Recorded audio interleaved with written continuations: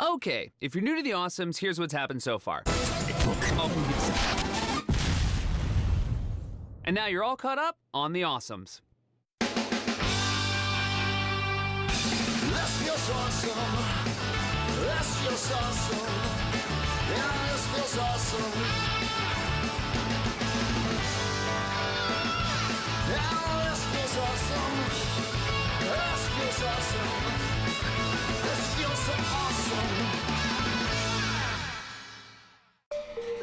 I am Dr. Giuseppe Malocchio, and this is my last will and testament. If you are watching this, 30 days have gone by since my passing, which means, according to superhero law, I am, as of today, officially a dead person. First of all, please tend to my pets as soon as possible. They have not had any food or water for a month. But do not mourn my passing, for I have lived a full life, and I am ready for the next great adventure. Death is a time for reflection, so I'd like to take a moment to read a brief poem. After a great pain, a formal feeling comes. The nerves sit ceremonious like tombs. He said with a grin as he wiped off his chin, If my ear was a. All right, now let us begin. To my sister Elizabeth, I give my Southern Hemisphere underground layer, my Gaggenau dual flow convection oven, and my Stairmaster. To my secretary Janice, who has always been there in my time of need, I leave the Maloki array, my three ton laser capable of destroying an entire city. A giant laser? That'll definitely fit in my studio apartment. To my record producer, Larry Monaco, I leave all the remaining copies of my parody rap album, Maloki Oh No You Didn't. It never sold as well as we thought it would, but, uh, you know, I still think there are some songs on there that we can be proud of. To Kyle, my local Starbucks barista, I leave $10 million.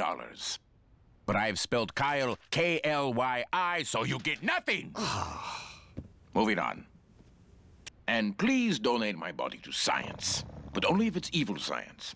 And I think that should be everything. Oh, one more thing. My dear son, Giuseppe Malocchio Jr., you're the one truly moral person in our family. That is why I'm giving you my most important possession. The last remaining vial of my serum. The serum that turned me into who I am. That can give you powers beyond your wildest dreams, but at the cost of turning you toward evil forever. My son, you must safeguard this serum at all cost, and it is up to you, my dear Giuseppe, to keep it out of the wrong hands. To make sure no one uses it to become the monster I turned into many years ago and have remained for the greater part of my life. Although, if I'm being honest, the monster years were the fun ones. Thank you, and good night. You'll be safe in here. I'll never let anyone evil get to you. So, while it pains me to say it, with the passage of 30 days, the time has come to replace Hotwire. I asked you all to write down the names of three heroes. What? Where is it? Once again, the vigilante superhero known as Metal Fella has thwarted yet another band of criminals. Ugh, I hate vigilantes. Relax, Prock. It's not a contest. That is 12 crimes stopped by Metal Fella this month, compared to 4 for the Awesomes, which means Metal Fella is winning the contest. Hey! What the- We have work to do. We need to find a new team member. Maybe we should ask Metal Fella to join the team. Um, excuse me, but the last I checked, all superheroes are required to be registered with the Office of Superhero Affairs. You can't just put on a suit and start saving people. So, you're upset he stopped those criminals? Alleged criminals. That's the problem with these vigilantes. They jump to conclusions when we don't even have all the facts. They were pointing a gun at her. And one of them said, Don't mess with me, I'm a criminal. Until we have all the facts, we just don't know. Yeah, maybe she's the one who's attacking them. Exactly. Or maybe it didn't even happen and we're not even watching the news and it's just tiny people putting on a play inside our TV. Well, no, it's not that. It's never that. Well, I think this metal fella is a tall drink of water. He's like a hard, shiny Burt Lancaster. I'll tell you, after what I'd like to do to him, he'd better hope that suit is rust resistant. Mhm. If you're saying what I think you're saying, he'd probably take off the suit first. No, leave it on. Bank robbery in progress. Let's go. This looks like a job for the Awesomes. What does? Whatever job you have. Well, I guess you guys could, uh, I don't know, clean up the mess. Great. Oh, baby, that metal fella is a true hero.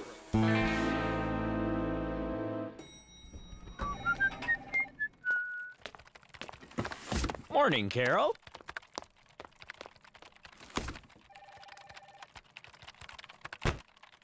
Today's the big day. I think I'm gonna get that promotion. I've been working harder than everyone else, staying later than everyone else. Heck, 40% of our revenue comes from my accounts. yeah, I got a good feeling about this. Attention, everyone. Uh, we've decided we are giving the big promotion to all of you.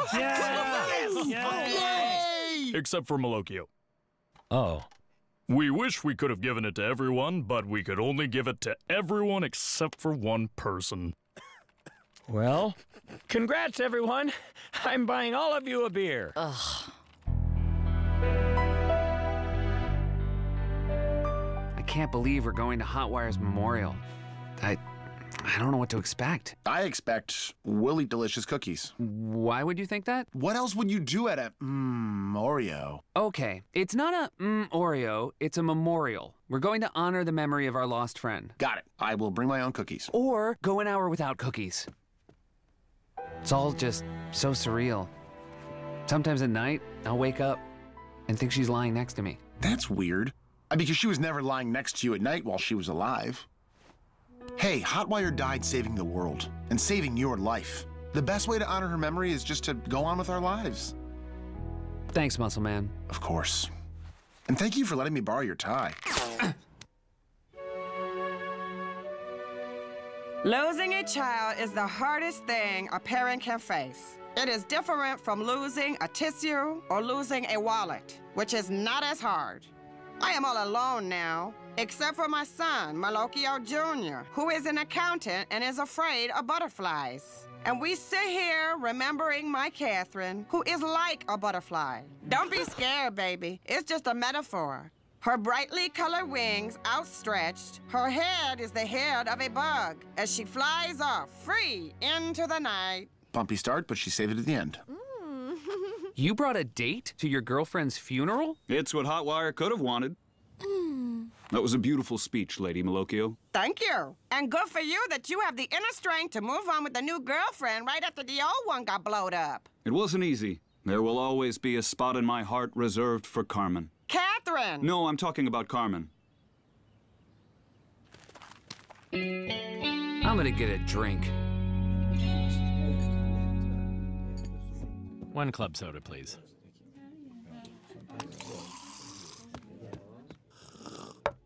Hey. Hey. Your sister was an amazing girl. Yeah, she sure was. And it's like everyone's ignoring the fact that what he's doing is like completely illegal. Well, I'm on your side. That middle fella sounds like a real pain. Prock seems drunk. How much has he had? He's still in his first. You know, you and I are the same, but we're also different. My dad was the world's biggest hero, yours was the world's worst villain. But even though Malocchio was your dad, you chose the normal life. Me? I tried that too, but in the end, anything that wasn't being a superhero was just soul crushingly boring to me. But you're okay with a normal life, and I respect you so much for that. I need that rush. You're fine crunching numbers and making small talk with Jim from accounting. Well, it's an accounting firm, so everyone's from accounting. We just call him Jim. Then I'm sure you're the top dog at your firm. Actually, everyone just got a promotion but me. But you didn't care. You were probably like, walk all over me, everyone, because I am good with who I am. I did take everyone out for a beer. And I bet they laughed behind your back when you did. I bet Carol did. And what's so great is you could have been feared like your father, the immense power, the whole world in the palm of your hands, but you said no thanks. You didn't want a life where every day was an adventure, an adventure of evil. Uh huh. You didn't want to steal all the gold in the world and make a giant gold watch just because. Right, my dad did that one time. And the last thing you would ever want to do was show all the people that have taken you for granted that you're better than they are. You know what? I'll be right back. He seems nice.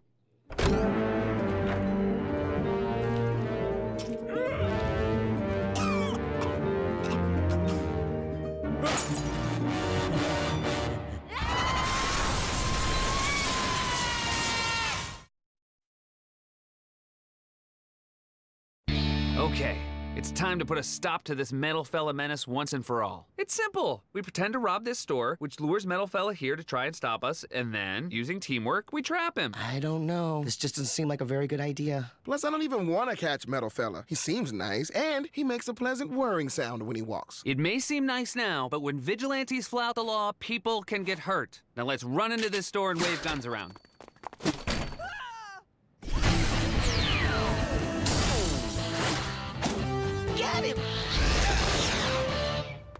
Frantic, what happened to teamwork? I'm sorry, Prock, but all I care about now is what happened to my net. My sweet, sweet net. You want to be a superhero? Villain! Super villain, like Dad. But we spent all that money on accounting school. I don't know why I thought you'd understand. I just don't get it. Your job has such good benefits. Do you think they take you back? Considering that last night I destroyed their office with my powers, probably not. Well, Linda's son works at Keesington Parker. I'll give her a call. No, Mom, this is what I do now. Okay, what do you think? I'm gonna call myself the auditor, or, or maybe CPA. And right before I attack someone, I'll make a funny accounting quip like, I hope you have all your deductions in order, or you do the math. Oh, that's funny.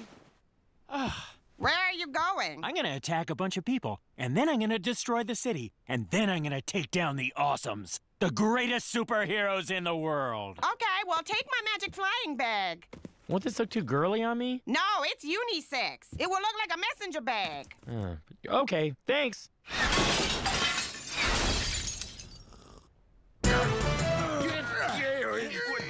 Move after. We all tried to go through the door at the same time. Give me a lip. Okay, you know what? I found him. Alexander Price, billionaire, philanthropist, accomplished pilot, and amateur MMA champion. Price started his career at 19 when he developed a technology to turn people's old cell phones into clean water for African villagers. Within three years, Price was the 15th richest man in the country, earning a reputation as playboy and the most eligible bachelor in the clean water world. But then overnight, he suddenly became a recluse and withdrew into his fortress like compound at the top of Eldon Hill. And I'm not sure why anyone would care, but he is our leading suspect for the identity of Metal Fella. The only thing I can't figure out is the energy source. To power a suit like this would take the energy of a small power plant. But I'll have an answer soon enough, because tonight, Alexander Price is making an exceedingly rare public appearance at a clean water event at the Natural History Museum. Wow, I'm so excited. Ugh. Now that the mystery's gone, I just don't feel it anymore. I don't want a face. I want a featureless metal panel. Excuse me. Uh, excuse me. Uh, I'm gonna attack you now. Uh, hope you have all your deductions in order. You're gonna wanna have to borrow from your 401k to subsidize your. Ah, never mind. It's the girly shrieker! No, actually, I'm the auditor. Or maybe CPA. Still deciding. He has a purse! Help! Someone help us! It's Purse Man! What? No, it's a messenger bag. What does the A stand for? Uh, maybe asexual? Because he's kind of like a man, but kind of like a woman. That's not what asexual means. English isn't my first language.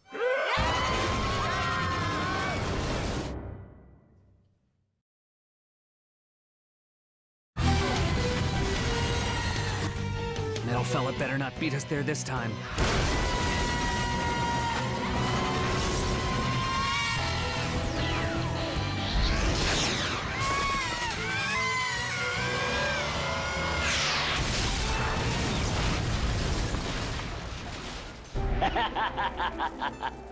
Was once like you, just a simple accountant, but I chose to follow in my father's footsteps, to be feared with immense power, to have the whole world in the palm of my hand.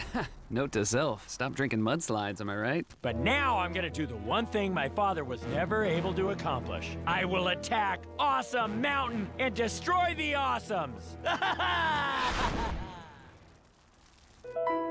Okay, here's the plan. Half of us will go confront Alexander Price, while the other half stays here to deal with Malocchio Jr. Um, seriously? Yeah, don't you remember? We talked about this earlier. Oh, you mean earlier? As in before that Malocchio Jr. destroyed an entire city block with his feminine yell? And vowed to kill all of us and destroy Awesome Mountain? Or do you not remember that happening? Right. So Gadget Muscle Man, Impresario, and Sumo, you come with me to the museum. Frantic, you stay here and stop Malocchio Jr. I just don't even know why I try anymore. I mean, am I the only person who has any respect for the law?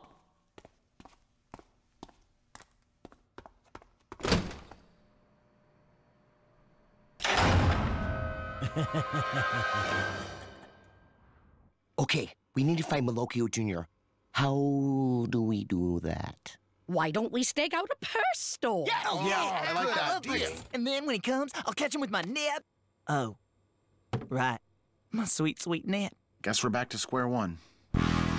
So did you make up this whole event just to lure me here, or does like no one care about clean water? Both. I knew you hated Metal Fella and would do anything to stop him. And come on, Alexander Price is the obvious choice, so I made you think you'd find him here tonight. Well, do what you want with me, but know that the rest of the Awesomes are safe. Awesome Mountain is equipped with a noise cancellation shield. My dad set it up when they were doing construction across the street. That's where you come in. You see, you are gonna give me the code that deactivates that shield. And why would I do that? I'm glad you asked. Hotwire, you're alive! I can't believe it. Oh my god, it's really you. Well, I could not be happier. I mean, there's a few things I would change. Yes, my sister is alive, but not for long if you don't cooperate.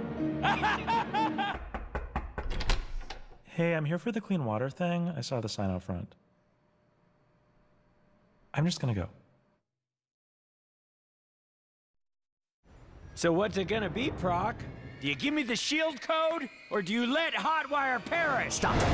Okay, I have to save Hotwire's life. I have no choice. But I don't want to betray my teammates. Plus, saving someone's life might seem like I'm coming on pretty strong. I don't want to push Hotwire back into the friend zone. Maybe I'll be like, hey, Hotwire. Oh, I saved your life? Didn't even realize. Yeah, perfect. Problem solved. Oh, except for how to not kill all my friends. Well, even if I do deactivate the noise cancellation shield, they should still be protected by the auxiliary defense shield. Okay, it's settled. Start.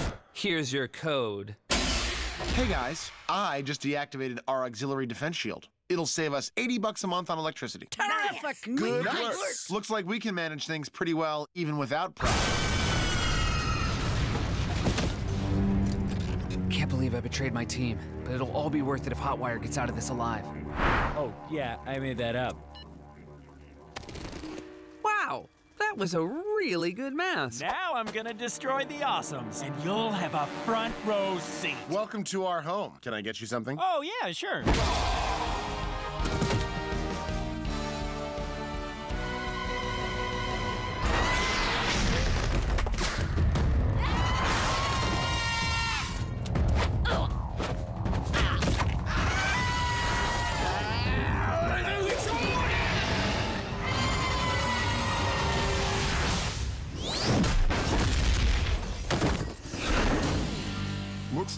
Guys could use a hand. Oh, great. Just what I need.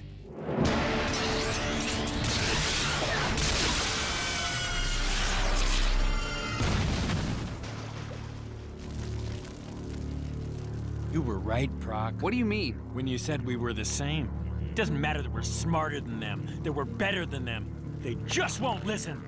We do everything right, and all everyone does is walk all over us. Join me, Prock. Together we can rule the world. No one will ever take us for granted again.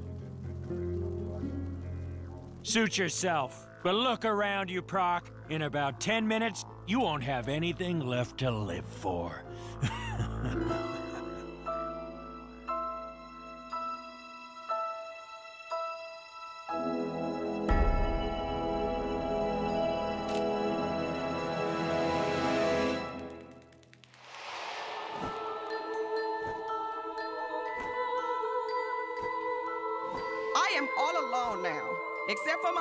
my son, Malocchio Jr., who is an accountant and is afraid of butterflies.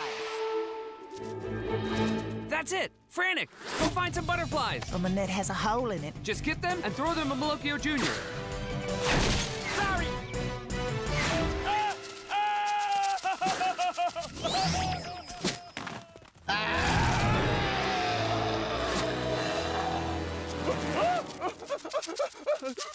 No. Oh no!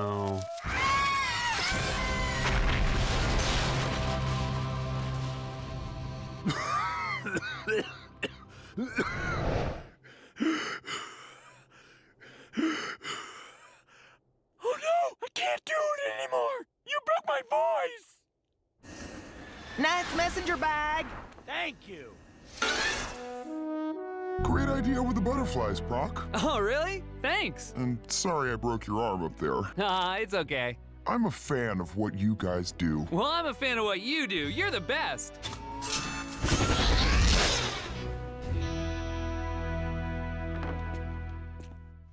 Man, I was wrong about Metal Fella. What a cool dude. Hey, maybe we should focus on vacuuming after we fix the huge holes in the wall? Yeah, that's the problem. Not that Prock turned Malocchio Jr. evil, or that Prock gave up the code to disable our shield. It's that I'm vacuuming. Don't worry, Prock. We'll get this place back like new in no time. It's not that. It's just, for one minute, I thought Hotwire was actually alive.